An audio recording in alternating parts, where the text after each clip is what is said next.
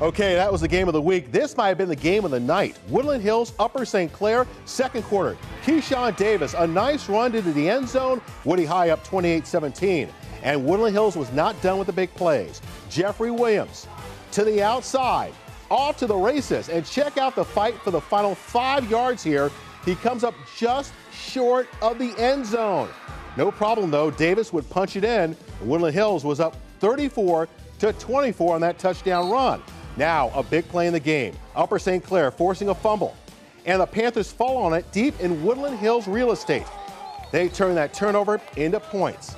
Quarterback Ethan Dahlem, who had a great night, escapes pressure, takes off, heads for the end zone.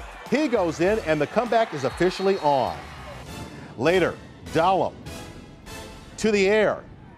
Joe Lackner, he sees him, throws to him, and watch him fight his way to the end zone. 41 38 Woodland Hills. Upper St. Clair gets the ball again deep in Woodland Hills territory. Dahlem from a yard out, comeback complete. Dahlem 485 yards passing, three touchdowns. Upper St. Clair comes back and wins 45 to 41.